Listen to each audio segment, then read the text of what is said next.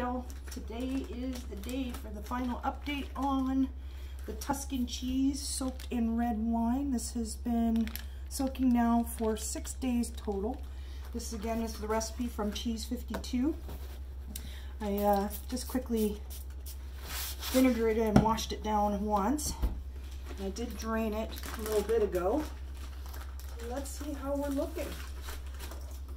Wow. This is a combination of a 2018 Cab Sav that I made as well as a 2019 Merlot. I combined the two together.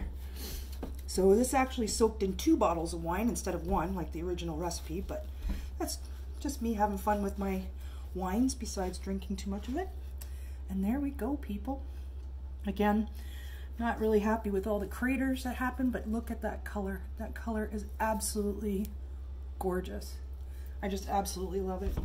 So I'm going to pat this dry as much as I can, and then this is gonna go on a rack and dry out for probably, I'm guessing, two days because the first time that I did the dry in between the wine soaks, it only took a couple of days before it dried right out. So this is going to sit for a couple days, then it's going to be vacuum sealed then aged for a month or two.